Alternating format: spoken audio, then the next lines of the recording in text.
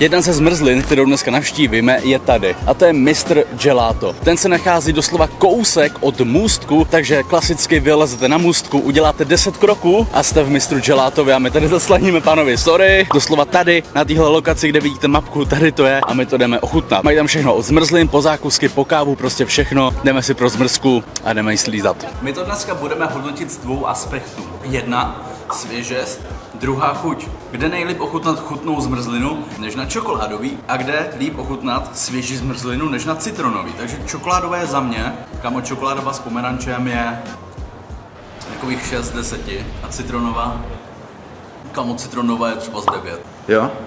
Tady týhle zmrzlině, víš co nehraje do noty, Hm.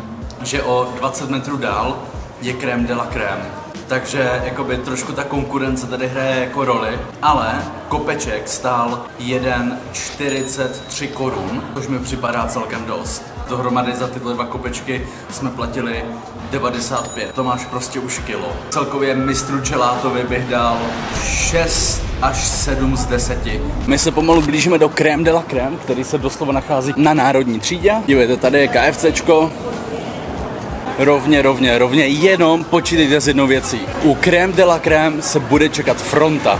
Vždycky se tam točí fronta, protože jako švarma je to nejvyhlášenější zmrzlina v Praze. A už tam vidím tu frontu. Ale naštěstí dneska není tak velká, protože dneska je úterý.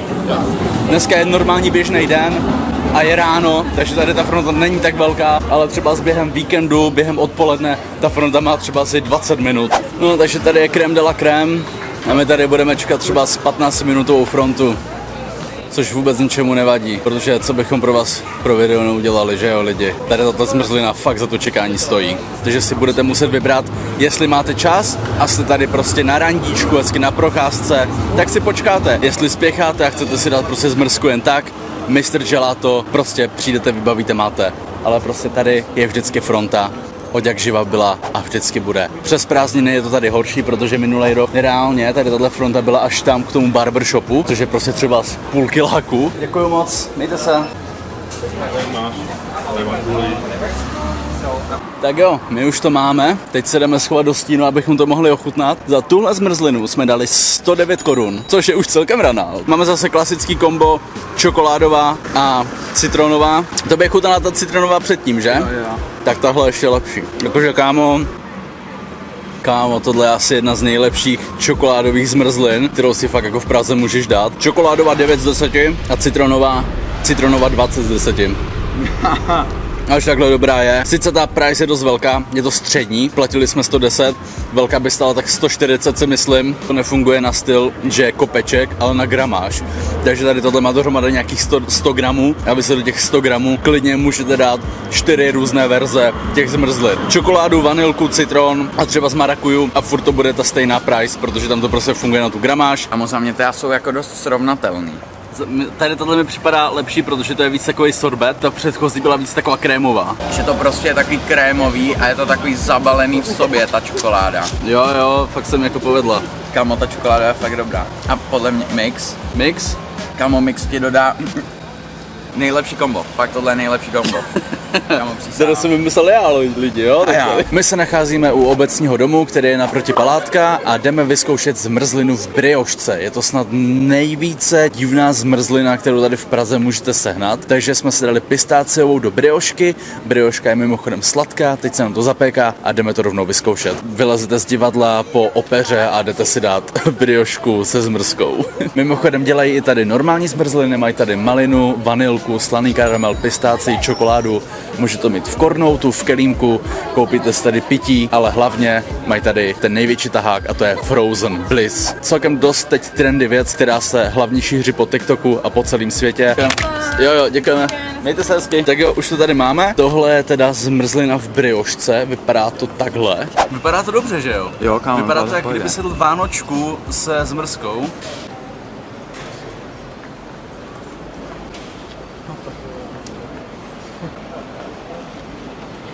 Jaký to je? Kamo, to je fakt dobrý. Já se bojím, protože já pistáci moc nemusím. Sorbet nám do toho nedala, jinak bychom si vzali citronovou. A ty vole, kámo, tohle je fakt dobrý. Je to zajímavý. Při nejmenším. To je fakt jak vánočka, kámo. A pistaciová zmrzlina je v poho. Neurazí ani, vole, nenatchne. Nejíš jak normální zmrzlina, že to musíš fakt žrát. Hmm. Že to jakoby nelížeš. Protože když to lížeš takhle, z té briošky uprostřed, tak to vypadá divně. To vypadá, že to budeš, budeš udělat, než slízat. Vy, co dáte like a napíšete komentář, tak my s Jasanem speciálně v dalším videu vybereme jednoho z vás, který s náma půjde na zážitkovou ochutnávku street foodu. Všechny tyhle zmrzliny, které ochutnáváme v tomhle videu, najdeš na Voltu. Volt kód DOCTOM. Neptejte se mi, jak jsem se tam dostal. My se nacházíme u další zmrzky, která je doslova kousek od náplavky. Tahle zmrzlina se nachází v Mánesu. Je to přesný grom, což je fakt dobrá zmrzlina, takže pokud si půjdete na náplavku sednout s vínem, s pivkem nebo si zajdete na drinčík, tady si vezmete zmrzlinu a jdete si hezky vibovat. Já jsem plno z těch zmrzlin, co tady dneska ochutnáváme, ještě sám neskusil a grom mě teda totálně, ale totálně moc zajímá, jak bude chutnat. Jdeme tam. Jdeme vyzkoušet grom. Začneme tentokrát čokoládovou. S čokoládovou zmrzlinou furt vede nejvíc krém de la crème. Tady tohle, kamo, tady tohle vyloženě chutná, ta čokoládová. Jako kdyby si smíchal čokoládu s krém de la crème a toho Mr. Gelata. Vím, že Grom má skvělý sorbety. Já vím, že to říkám jako každý, že to citronové banger, ale nevolám. Myslím si, že tady tato citronová je nejvíc fresh ze všech těch zmrzlin, co jsme měli. Já jsem dva roky lidí studoval citrony, abych jim porozuměl. Citronová 10 z 10. Čokoládová 6, bohužel. Teď se mi dostal do pusy mix a ten není fakt dobrý. Není, já ti to říkal. Fakt není dobrý. Kolik dáváš čokoládě? No jako určitě je to lepší než ta pomerančová. Já se u toho zaseru a všichni se mi budou smát, kámo. jo, kamo. Jako ta citronová je hodně dobrá tady. Mr. Gelato to jakoby zatím projel. Zatím je nejlepší, vole, crème de la crème a grom. Jdeme do další pobočky, jdeme to vyzkoušet, co tady mají v Praze pro nás připraveno za zmrzliny dál. My už se z centra nacházíme zpátky na Žižkově a jdeme vyzkoušet na zmrzku hned gelato. Ano, má to trošku divný název, ale recenze jsou fakt dobrý, takže to jdeme vyzkoušet, pojďte s náma.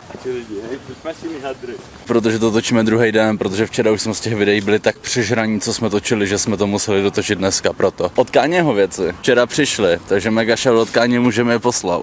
Tady jsme si na zmrzku hned. Dohromady jsme platili 90 korun a co musím říct, jejich čokoládová je zatraceně svěží a dobrá.